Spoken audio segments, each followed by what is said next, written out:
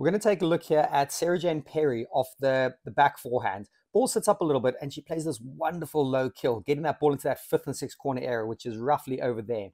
So we'll have a look at it from this angle. She sets up beautifully, and I'm going to deconstruct it as we go along. But you know, just the way she sets up, the way she lines it up, there's so much threat and options. So again, it's not the worst shot in the world, but it does sit up a little bit. What I really like with Sarah Jane, she really engages her elbow. She really gets that up, really well. She really cocks that wrist to get that racket head up. And from there, there's a lot that she can do. She goes in with that classic 45 degrees with the feet and the hips, so facing the corner, which I like a lot. Big fan of that. And then as she hits there, ball's a little bit close to her, but that probably helps a little bit. She's just shielding it. She just makes good contact, transferring her body weight out. Notice the follow through. Notice how she keeps that follow through really flat. So the racket just starts to appear that side of her body and she just sends that ball. Where's that ball gone? So she just sends that ball low. You know, she's obviously lining that up, and that's pretty risky, but it really paid off. She had the ability to do it and landing that ball just next to that, that side wall. So it's then going to run really tight. We're going to look at it from the other angle as well for a technical perspective, but a lot of good stuff going on here of this deep forehand kill.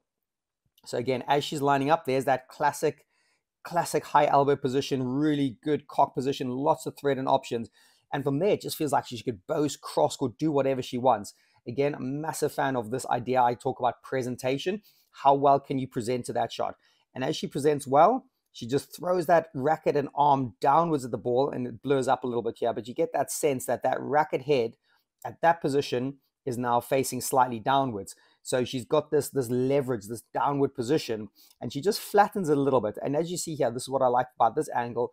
Look how she just keeps that racket face open around about there, makes contact, and just shuts it off slightly. So you notice that racket head just shutting off, just directing that ball where she wants it to go. She doesn't do a full release. And I like how that racket head just flicks back towards the target area just to guarantee that that ball goes there. So a really good position, a really good setup for you guys to try getting that threat and options in the back, high elbow position, really nice high racket head, a lot that you can do from this position, and then a bit of technical closing the racket face just at that point, aiming low, sending that ball off in that direction can win you a lot of points from there.